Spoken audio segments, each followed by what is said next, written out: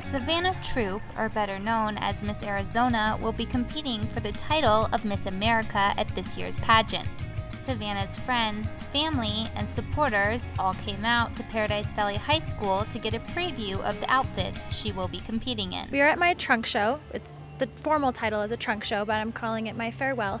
It's an opportunity for everyone, friends, family, to come and see what I'm going to be taking with me to Miss America. So I'll be coming out in my evening gown, my cocktail dress, my talent. I'll be performing my baton routine on the stage today, and really just giving them a sneak peek of what I'm going to be doing at Miss America.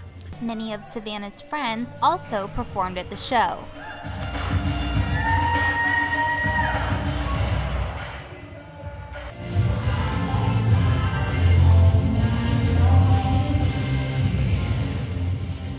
Savanna's mom was busy backstage hand sewing one of the dresses she will be wearing in the pageant. I have a big family. I'm the oldest of nine, so that allows for a lot of support.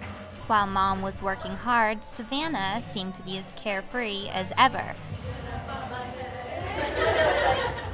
Sporting an Arizona Cardinals jersey, she seemed like any ordinary Arizona girl. But Savanna is anything but that.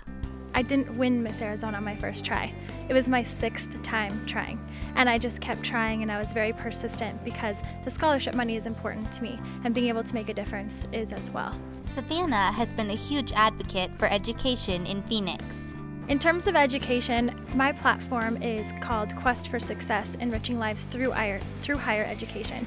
So I actually go around to both middle schools and high schools and talk to students about having that opportunity to continue on to post secondary education, even if they feel like they have a financial barrier or maybe not all of the support. And that's my personal platform. She lives, breathes, and walks her, her platform. It's just so exciting to see her bringing this to a national level because she's been such an advocate for edu education in Arizona. Make sure to look for Savanna in the 2010 Miss America pageant. For more information on this story, visit our website at phoenix.gov slash know99. Reporting for Know99, I'm Courtney Olish.